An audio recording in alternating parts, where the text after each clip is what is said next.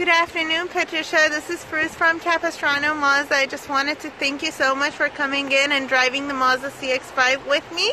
And I just wanted to show you the vehicle one more time because I know that you're looking at different cars and you might forget about what features comes in this one.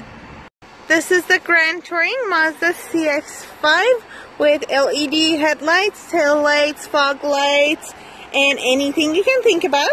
Um, your lane change indicator, your keyless entry, beautiful two-tone 19-inch alloy wheels, and power lift gates, so you don't need to actually physically open the lift gate of the vehicle. That was pretty close. Alright, as you can see, the seats split 40, 20, 40, so you can drop them separately and again, very easy to close the lift gate. Um, quick look at the second row.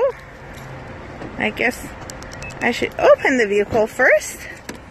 Right here, you will have your genuine leather seats, cup holder, and also charging points right here. And your air vent for anybody sitting back here pretty comfortable. You push this button to lock or unlock the car so you don't need the key anymore. You just need to keep it on you. Premium Bose sound system with subwoofer in the back. Um, power adjustment seats. And right here, one quick look at the back. Your moonroof right here and then there are more charging points and your SD card for your navigation goes down there. Navigation standard on the Grand Touring trim level. And then you will have all your controls right under your fingertips. Adaptive cruise control. And right here, this is your touchscreen.